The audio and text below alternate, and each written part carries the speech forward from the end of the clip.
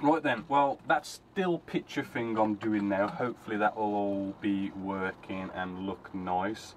So you've seen the effects that this stuff can do and um, okay, in all honesty it does feel like you can dry brush easier. So what we want to do now, we want to get some washes in here to kind of um, bring this alive even more and what I want to do is I want to use the um, black wash by Genessis Models. Okay now this wash as I said it's a nice light wash which um, it just puts a nice light coat down okay? And what we do is we can brush this all over and it's not going to be too strong or overpowering or anything like that. It's just a nice light coat just to give um, our model that little something extra okay? Um, because I find that with a lot of washes you have to um, you have to thin it down to the right consistency and I basically one day made my own wash, made it to the right consistency that I like, the right thin down, and I've used that ever since. And I basically thought, you know, if I prefer using it over other um, washes, why not produce it and sell it? So um, this is why I'm using this, and you do get bubbles but it's quite nice how you give it a bit of a blow and the bubbles do pop um, relatively quickly. And that's really kind of give us a nice little effect there. And we just do the rest. It just seems to darken things up.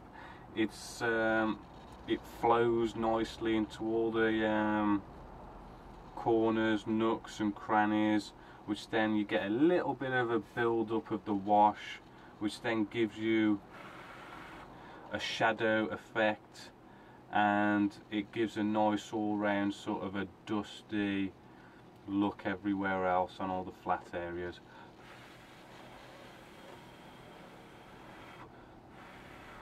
Remember if it's built up a little bit too much somewhere just make your brush a little bit drier by um, wiping on a paper towel and you can just suck up these little areas where you've got a little bit too much okay?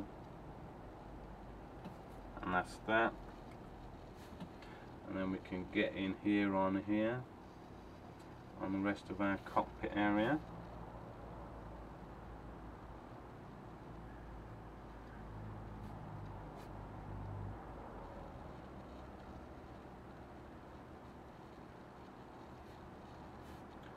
I'll take a still picture in a moment just to show you. Although it'd probably be better if I wait for it to dry because it looks darker when brushing this on than what it's going to look when it dries. When it dries it just lightens up a bit. Okay? Because it's looking it does look shall we say, a bit strong when you brush it on? Which you might actually like but this is designed to just give a nice light dirty look. If you want to have even more dirty you could um, maybe use MIG production or you could just maybe layer up and kind of add um, more coats. If you want to do that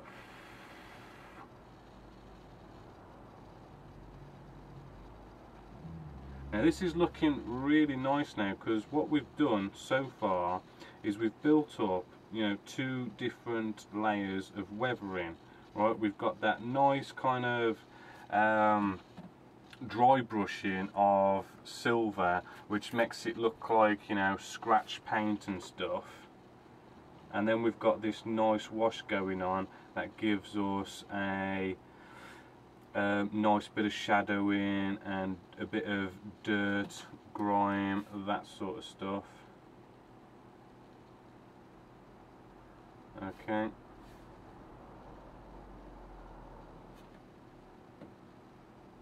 I'll do these other seats in a sec because I'm taking a bit of time doing this, boring you probably.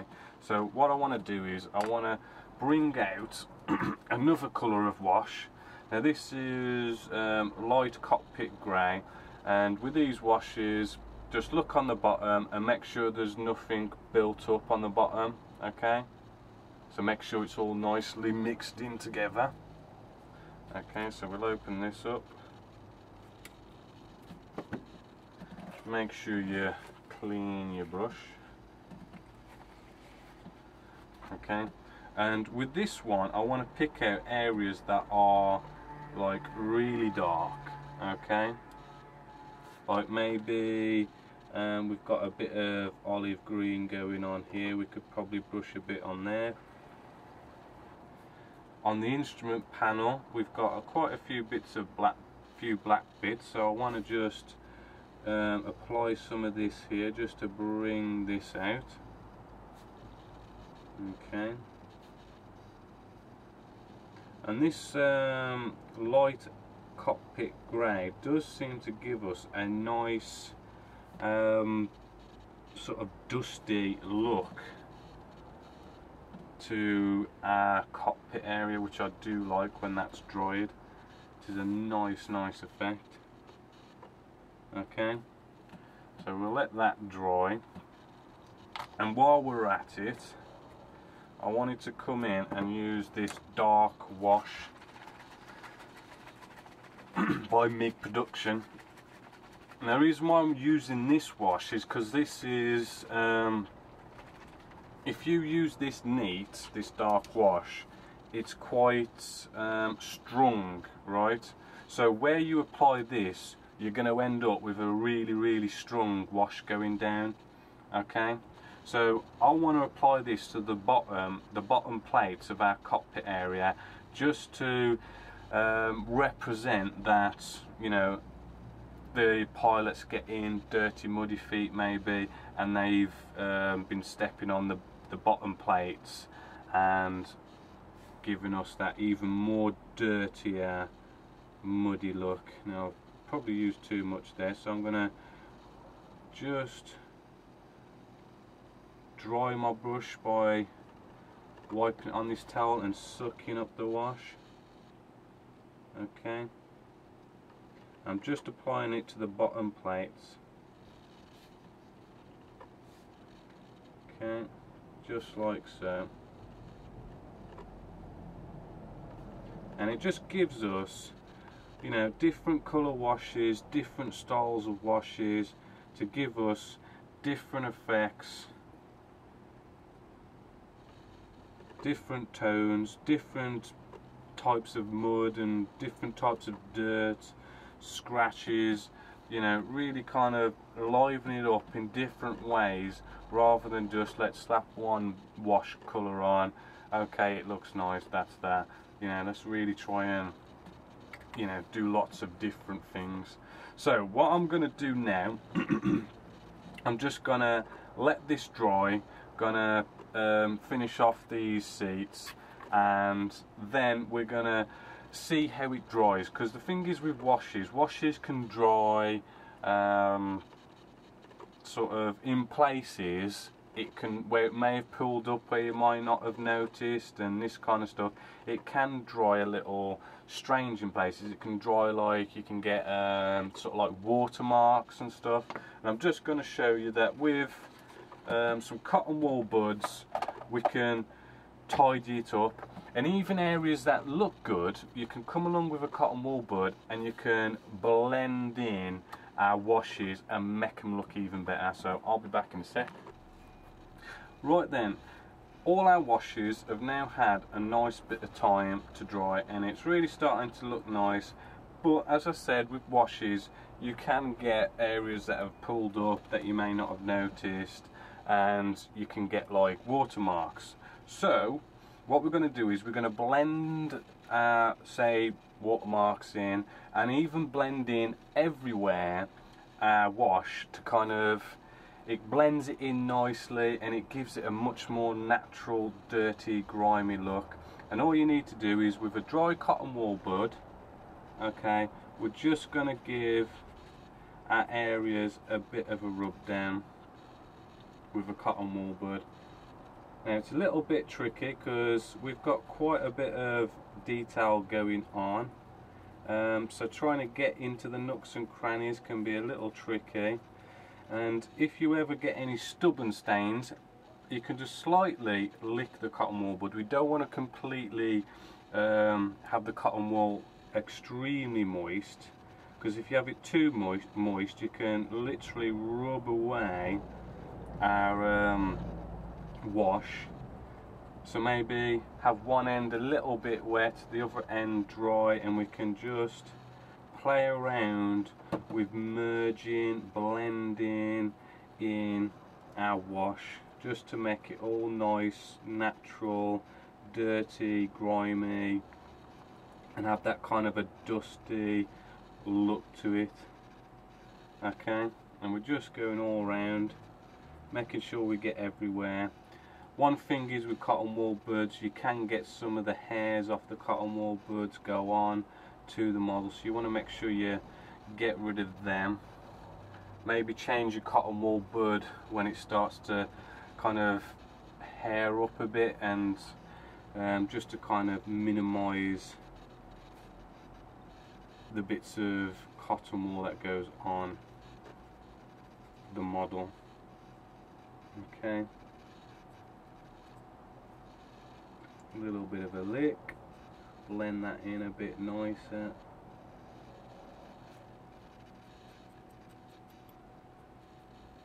Just like so. Um, just do this part here as well. Just give it a nice rub and when this is all done what we've then got here is we've got all this nice um, different colours of wash different manufacturers of wash. We've got dry brushing got all sorts of things going on here. And I think one last bit of weathering a few pigments can really then finally set this alive as a nice textured, nice toned, nice dirty, nice weathered um, cockpit. Maybe some tweezers. Okay, so I've got some hairs that are just in here which I just can't get to so we just pick these out okay there we go got them. Another cotton wool bud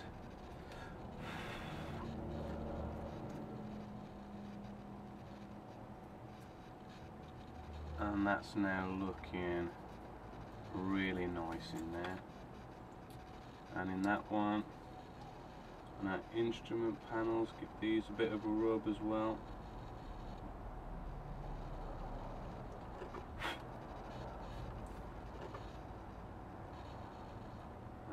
we've got a bit of a nasty bit of um, shall we say a watermark there but a little bit of a wet cotton wool bud has taken care of that.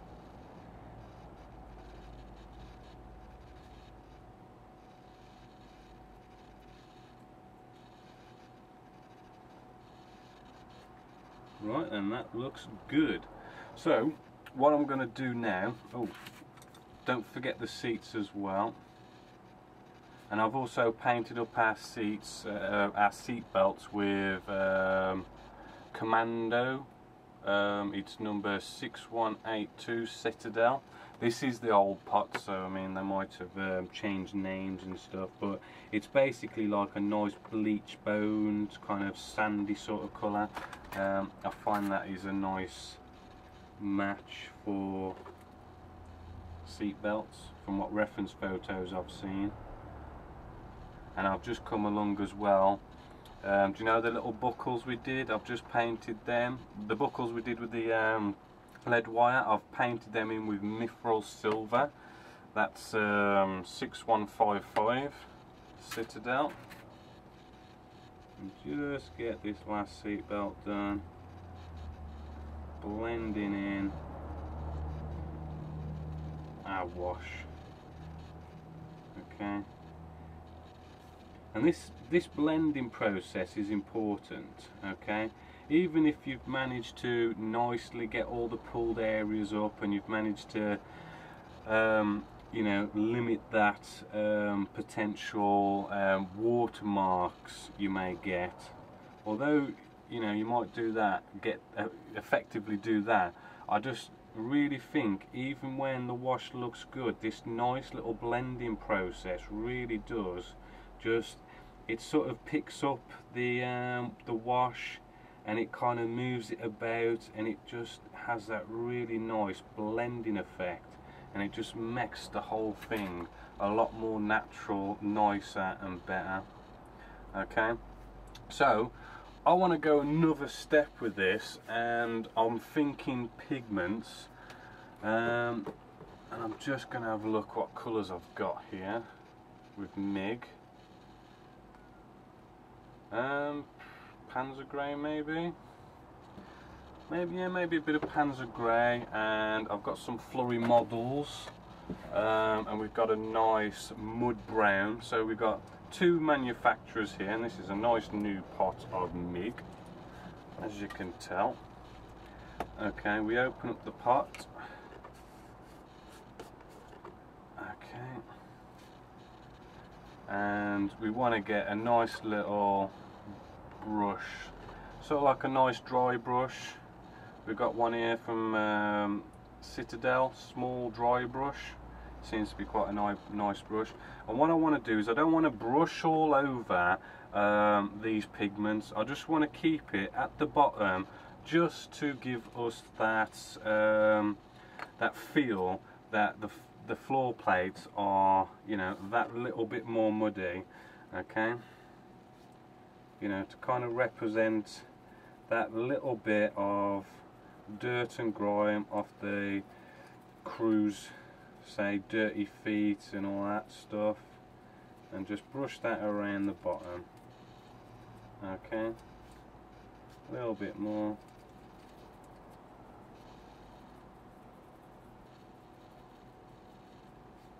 A little bit more. Okay, now this stuff is messy, so it's good to have something like a paper towel down, or you know, some paper, just to catch the pigments as they fall onto our surface here. Okay, maybe a little bit on our pedals here.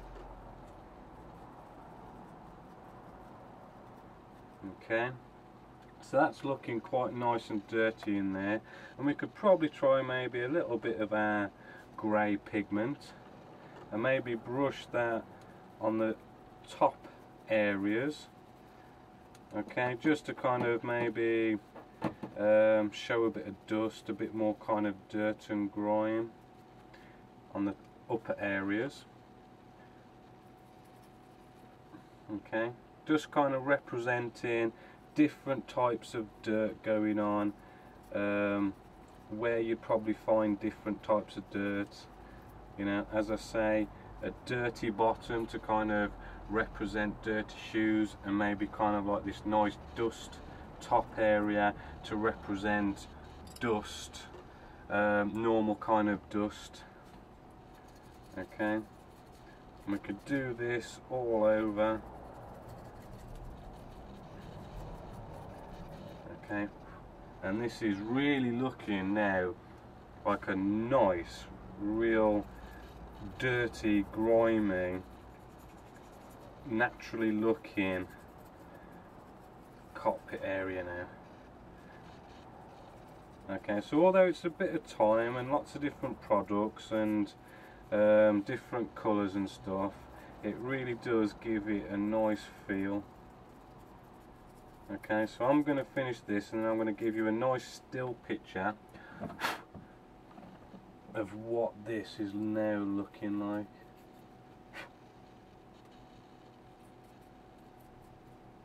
and I think you ag- uh, will agree that it has given this some real nice life. Okay. A little bit here on our instrument panel. That's looking good. And we can probably do a little bit on our seats as well. Just here and there. Maybe inside the seats as well. Just to dust up our um, our seat belts to dust up our um, leather seats. Give it a blow if you just want to blow out some um, excess that might be in there okay it's coming off the cocktail stick that's not staying in nicely.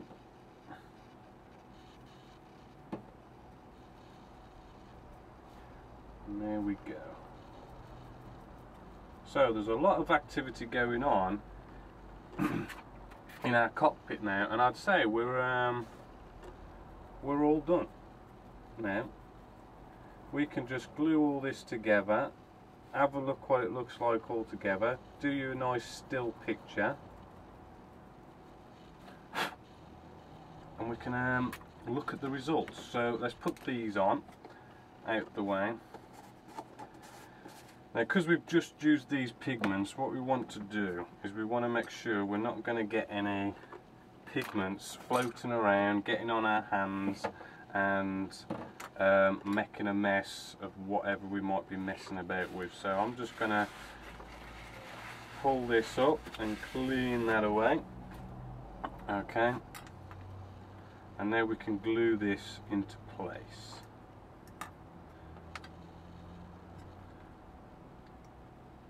Um, actually I'll glue this, this side in first.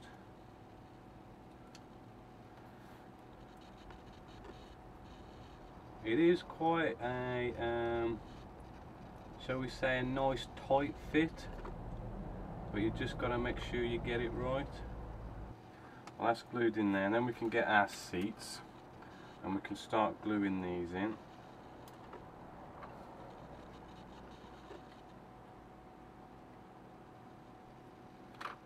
Let's check the instructions, make sure I'm putting the right seats in the right place. And the right direction as well. and we'll put a little bit of glue in there and let the capillary action do the work. Put a little bit of glue in just to help it stick as we put it on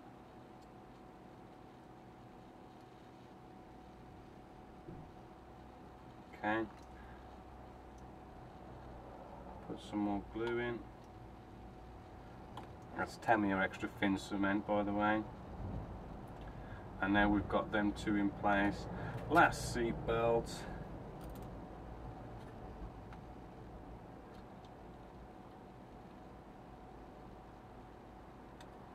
There we go.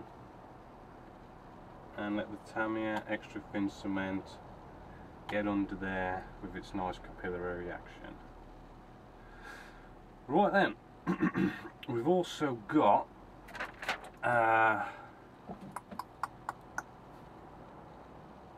instrument panel just check our instructions a little bit of glue here just to hold it into place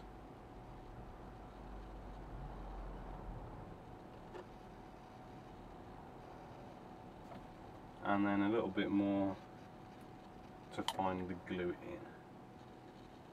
Now what I'm going to do is I'm going to now take some pictures to show you the results of all this nice weathering. So I'll just take some still pictures now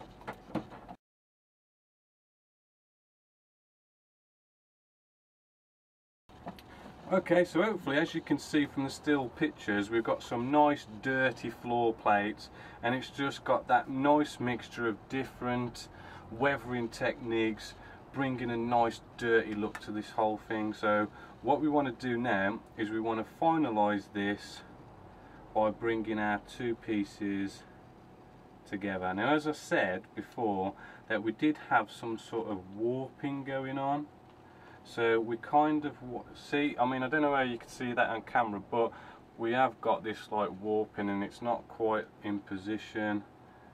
So we kind of want to shall we say glue one bit leave to dry and then we can glue the, the other bit. So I've got this back bit here and I think a little bit of a elastic band just to hold this in position.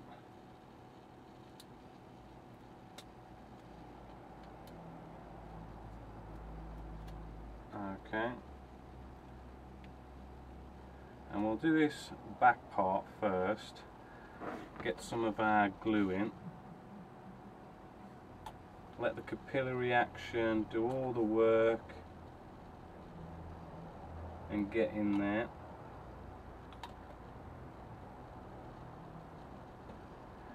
okay make sure your your cockpit's all nicely in position as well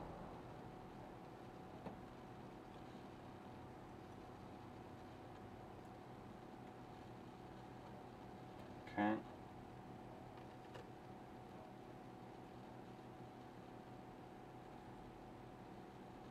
when you're happy that's in a nice um, position all round joining these two pieces at the back we can then leave this to dry and then we can position glue these. There's a little join there and just on the top and we can position them um, once that's dry. Because once that's dry we know that's not going to go anywhere and then we can hold this in position glue this and so forth and so forth until we get a nice join all the way around. Okay? Because if we if we glued all the way around this now you'll probably end up finding that um, you know this part being glued is going to like push that part out and that part out and it you'll just be faffing around trying to get it all done right. But we leave that to dry and we'll do all the rest. So I'll be back in a sec. Right then so cockpit all done. I've um, nicely glued this all around and it's all nicely in place and we've sorted out that bit of a warp problem I did kind of get a bit carried away with myself um, when gluing this together I actually glued as you know the all the seats in which as I say, I got carried away. Really, you want to keep these seats out because what's going to happen is these seats are, you know, sticking out quite a bit uh, out of our cockpit. So when we're doing all our sanding and building this together, we're going to scratch it, we're going to knock it, knock it out of place and everything. So while it was still wet, I quickly um, ripped them out and we can glue them back in again um, at the end. So what we need to do now is start working on the rest of the kit so I'll just put that to one side and what I've got here is um, our landing gear section I've done one and I'm just going to show you how to do the um, second one because I do like to um, leave all my landing gear um, separate, spray it separately, come in at the end and um, glue them in However, with this particular kit, our landing gear section is actually built into the wing. So there's no real way around this because this does actually build right into our wing section so we have to have it in um, which is a bit of a pain because you're going to have this bit of um, landing gear sticking up which um, could potentially you know knock scratch um, break and all this kind of stuff. However, if I quickly show you the instructions, I haven't completely assembled it. Um, as you can see, what we've got is we've got this bottom bit here where it says 19. Okay, we've built that, but I've left um, piece A12 and F14, F13 left them on the sprues. I'll come to them later. I've left that bit off so it's not sticking up as much to you know give us all these kind of problems and I've left the wheels off. So um, that bit should be fine because it does seem quite um, sturdy and I don't think we should get any breakages. We might get a bit of scratching okay? So I'm just going to start gluing this together and it is quite simple okay?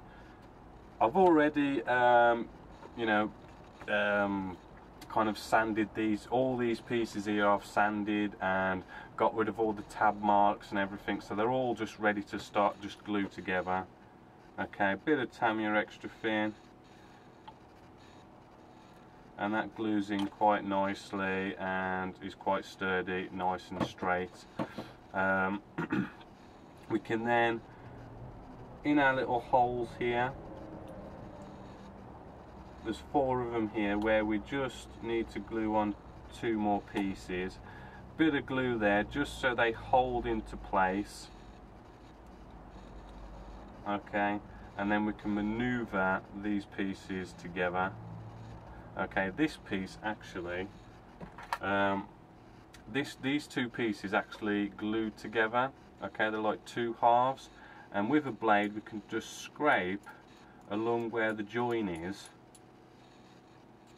Okay and what this will do is it it's um, it's a way of kind of like sanding really um, but not using sandpaper or sanding sticks you can actually use a blade to do a bit of sanding and I do like this technique because you can use this to um, I mean although you don't get although this model hasn't had that much flash um, you know, no matter how good the model is, you still get that light, light bit of flash.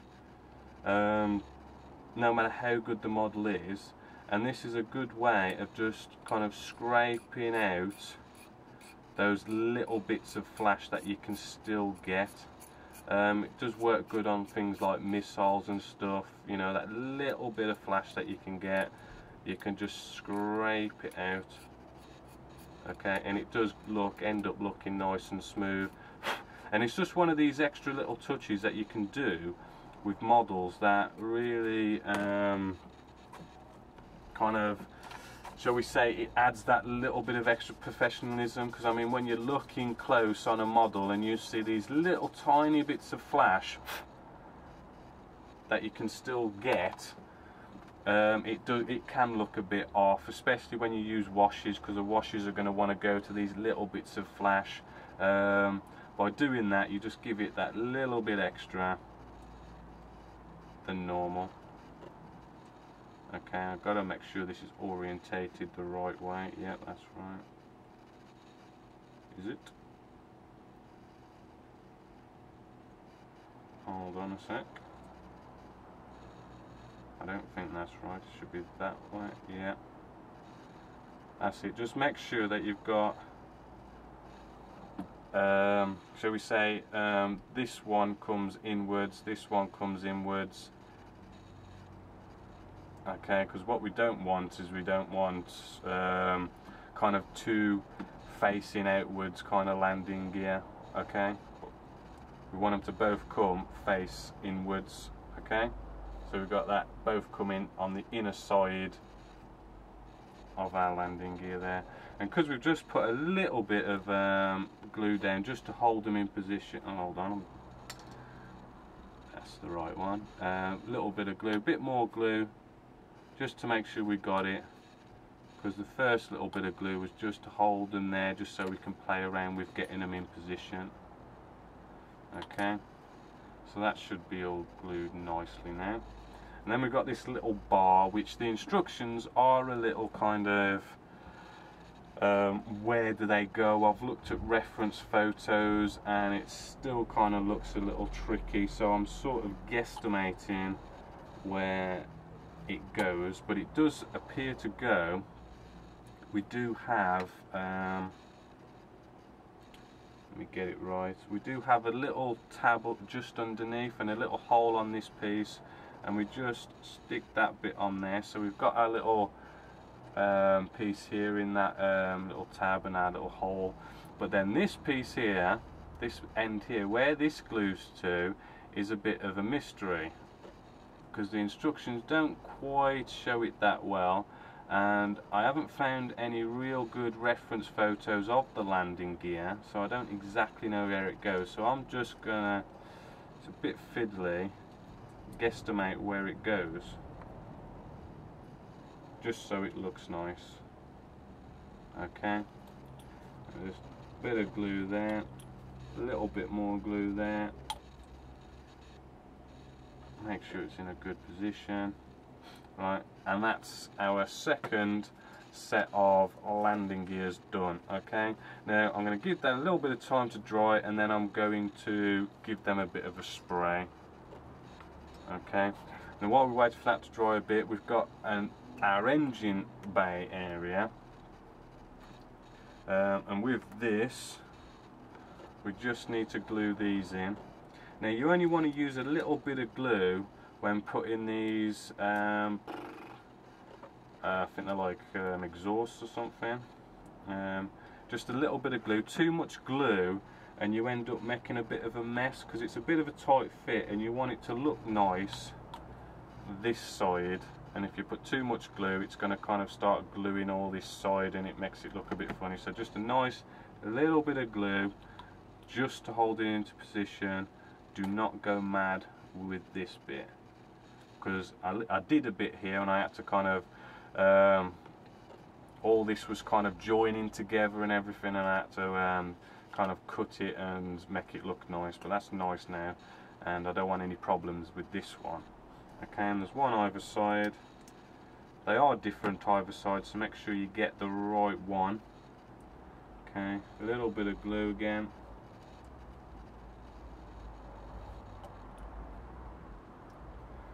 okay make sure that's nicely in position. And that's good. These do fit quite nicely as well.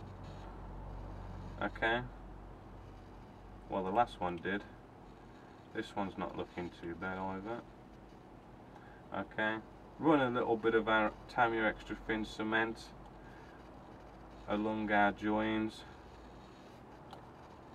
One either side okay and let the capillary action just flow this glue in between these nice joins.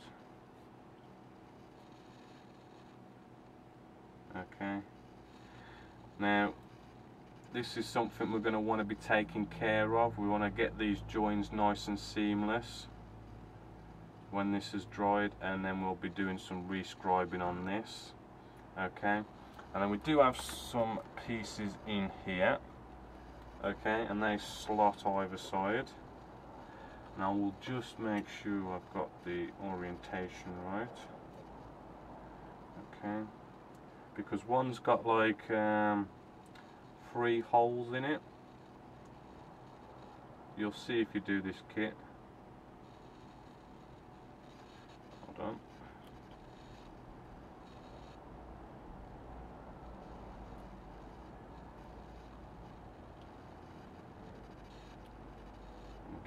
in wrong.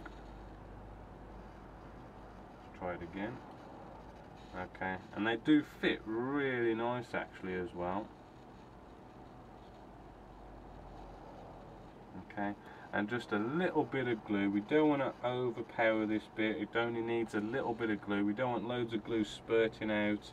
Okay, because that way we should then still get a nice kind of um, recess area around these two pieces we just popped in there. Now, um, that's two of these done now. Um, a few problems with this engine section.